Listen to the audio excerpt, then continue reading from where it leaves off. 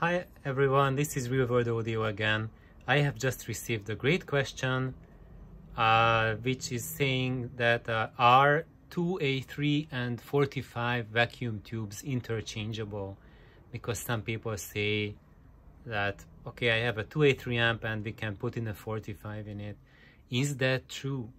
And now the I have a short answer and a long answer for that. The short answer that is that if uh, your amplifier specifies that it can use both 2A3 and 45, then yes. Uh, in that case, you may use either of them. Uh, but if your amp does not specify it, then uh, if uh, if it's a 45 amp and you plug in a 2A3 it probably won't blow up but it it will sound probably uh, kind of strange. Uh, but if it's uh, uh, a 2A3 amp and you plug in a 45 you will probably kill the tube very, very shortly almost probably right away. Within a few minutes it will blow up and now let's look at the physics of it. And uh, uh, so first of all why did that question rose up? It's because both of these tubes are really low power tubes. But uh, let's just see now how low power tubes are these two and what they can do for you. So this is the NJ7P tube database. This is my go-to place so it's like going uh, grocery shopping uh, I, I, go to NJ7P just to have a quick lookup on uh, tube data. And I can say that it has uh, most US uh, tubes in it.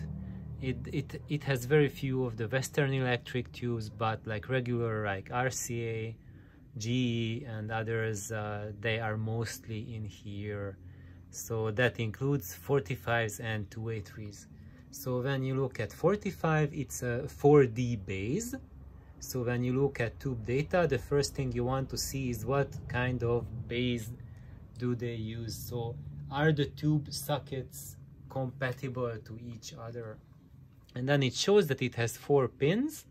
So the tube has four legs and leg number one and number four are the filaments so this is how the tube is heated. Number two is the plate, so that's where the high voltage goes. And number three is the grid, so this is where the input signal goes and it will be amplified through the plate and uh, that's it. So let's have a look at the 2A3. The 2A3 has the same pinout, it also has a 4D base, 1 and 4 are filament and so on. And when you look at the bases, all these bases have a number for them to identify the base. And this base is called 4D. So if you have a tube data sheet and uh, or a tube manual and you look up tubes, then you look up, okay, 4D base, and it will list the tubes which are 4D base. So it means that every tube that has a 4D base will fit in that tube socket. So if uh, your amplifier has this socket, you can fit in a, either 45 or 2A3. But just because you can put a tube in there doesn't mean that it will uh, work there properly and it will be stable. So the second thing you want to look at when you are looking a vacuum tube is the size of the tube itself. Because by now we have established that, okay, the feet are the same, we can plug it into the same amp, but now let's see. So the 2A3 has ST16. That's the name of the bob. ST means shoulder type. So it, it shows this Coke bottle. They, they call it like Coke bottle. And it's shoulder type because this is the shoulder of the tube. So these tubes have a shoulder and, and that's ST and 16 means uh, uh, that's the size. And they have like a series of ST numbers and the larger the number is, the bigger the Coke bottle. So ST16, as you say, uh, the uh, from the bottom of the base to the top, it is, let's see how much, four and almost five inches tall, basically. and then when you look at the bottom of the legs bottom of the pins and the top of the tube it's like five and a half inches uh, tall tube let's see what is the size of a 45 it's st14 size bob. it's smaller and then you see so it's barely over four inches tall between here and there while the 2a3 was almost five inches tall. So so that's quite a bit taller. So it's a 25 percent taller than the 45 and this without looking at any other parameters we already know that the 2a3 because of its much bigger size is capable of dissipating a lot more heat than the 45 can. And because of that it will be able to produce a much higher power output. And uh, as Corey mentioned that there's the new KR45 tube this is the 45 made by KR and they have a, a bigger uh, bulb for that tube the same size as the 2A3 the ST16 size and it's specified at a higher power dissipation rating uh, than the uh, original 45 and and and as Corey said he has both of these tubes the KR45 and the regular 45 and they have the same size plate structure inside and yes if you uh, put it in a bigger envelope in a bigger bulb then it will be able to dissipate heat across a bigger surface area. So it means that it can conduct the heat away from the plate at a much higher rate. And this translates to uh, that you can run it at a higher plate voltage than uh, than a traditional 45. However, that's just the KR45 tube. But now let's look at some more data on the comparison between uh, 2A3 and 45 and that's the filament voltage. It's 2.5 volts for the 2A3 at 2.5 amperes.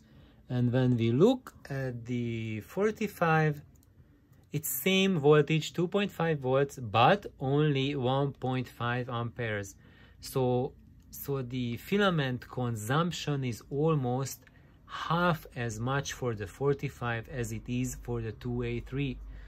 So this has two implications. One, if your amp was specifically built for a 45 and you plug in a 2A3, uh, because it draws almost twice as much current, there's uh, some chance that it can ruin your power transformer. Because if it draws too much current, it uh, and if uh, the uh, the filament winding on your power transformer was designed just to barely handle 1.5 amperes that will be inadequate for 2.5 amps and you will ruin the power transformer of your type 45 amplifier when you plug in a 2A3 so there's uh, immediately a problem with that. However, if your amplifier, if your Type 45 was built with a lot of uh, margin for the filament uh, power, so the uh, transformer is capable of handling almost twice the current, even in that case, uh, your 2A3 will run cooler than the 2.5 volts. And that's because of the simple fact that if you increase the current draw, then the voltage output will sag for your filaments. So it means that uh, maybe instead of the 2.5 volts, you will be getting maybe like 2.3 or 2.2 volts. So your 2A3 will run quite a bit cooler than it, it really would like to. And uh, that will result in an anemic sound.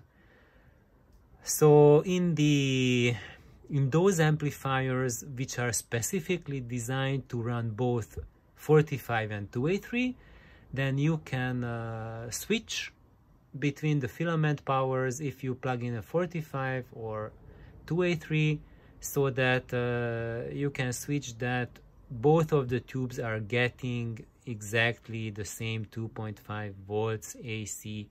Another option is maybe the amp has a regulated DC filament supply. In that case, uh, it is taking care automatically of supplying the correct voltage to the tubes. And now let's look at uh, the interactive capacitance is will not affect whether an amp a tube will work in an amp or not. If they are drastically different, it means the other tube is uh, harder to drive uh, than the other.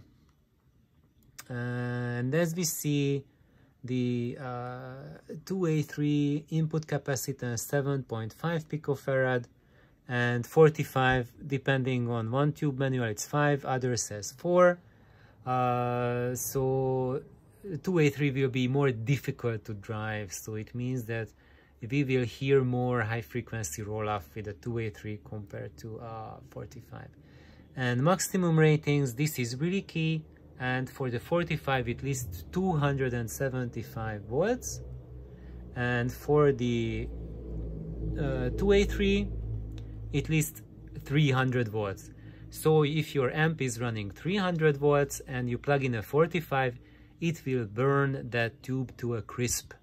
And if it's running at 275 volts, then both tubes are acceptable in it.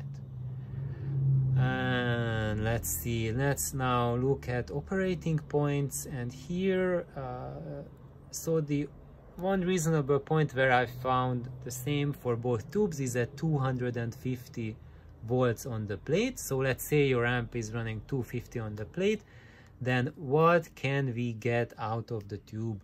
So for a 2A3, the, the upper one here, this li lists it as a fixed bias mode, and the, here it's the auto bias or cathode bias uh, listed. And, um, and basically here we see that it's running at 60 milliamps.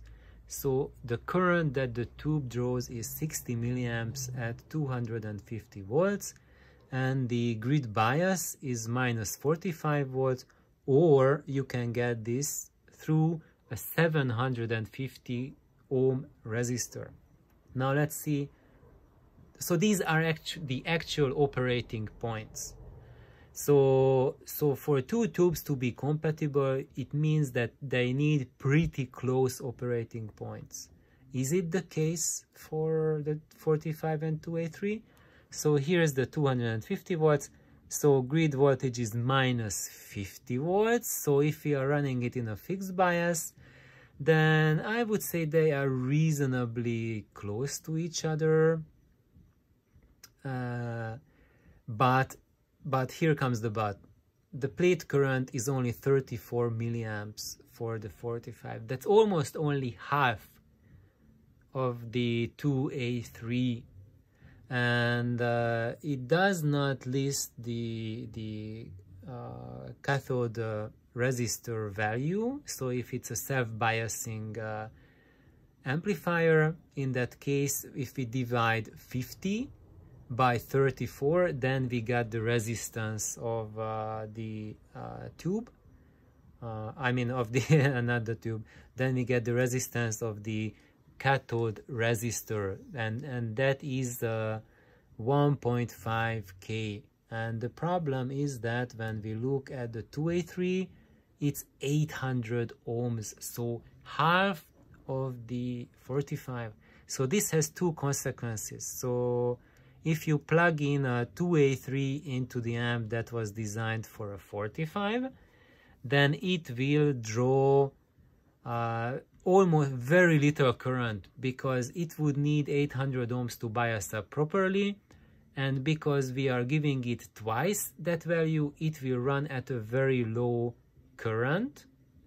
And uh, yes I would say in a 45 amp you can plug in the 2A3 and it will work. But then you will not get 3.5 watts out of it because it's running at such a low current then you are probably going to get about 2 watts out of it and it will be running in a starved mode and it will be sounding pretty anemic compared to a 45 and when you look at the 45 uh, at 34 milliamps it has 1.6 watts output power.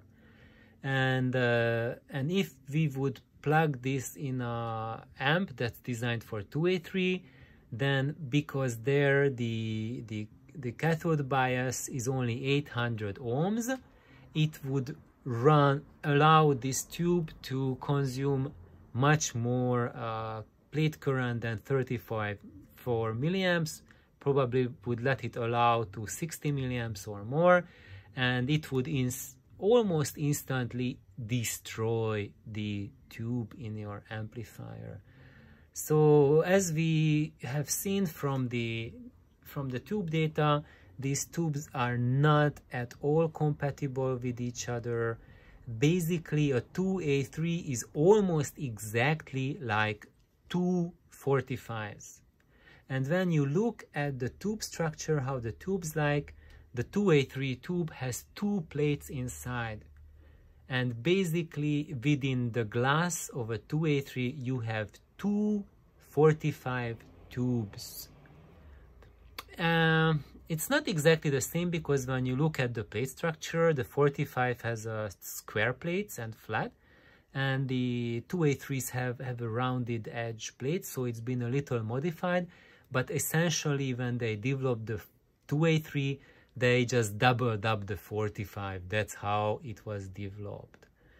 And uh, and when you look at all of the other data uh, the uh, it's everything every operating point is consistent with the fact. So base that that you are running uh, two 45 tubes. So when we look at the comparison between the two a single 2A3 tube is identical to two 45 tubes. So thank you for uh, hanging on and I hope this was uh, informational to everyone. Please like and subscribe. Bye bye.